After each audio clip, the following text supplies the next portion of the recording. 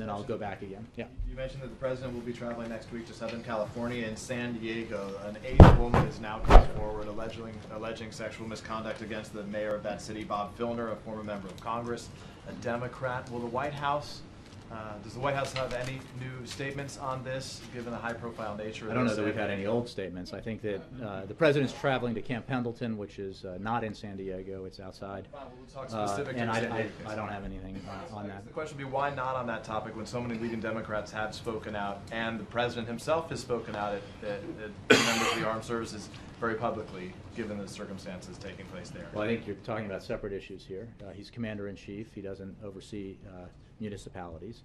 And Um, be that as it may, I, I don't have any comment on that uh, any more than I've had comment on other similar issues.